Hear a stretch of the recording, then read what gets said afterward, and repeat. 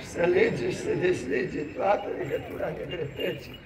Și acum te rugăm pentru robii tăi care stau înaintea ta, dă-le lor mira ta, rupe legătura jurământului și a blestemului în care s-au legat și orice au vorbit din neștiință sau din nebăgare de seamă sau din slăbiciune stătească au lucrat.